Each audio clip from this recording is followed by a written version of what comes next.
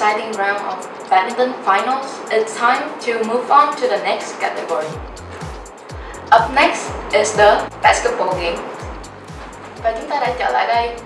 Mọi người có cảm thấy thú vị không ạ?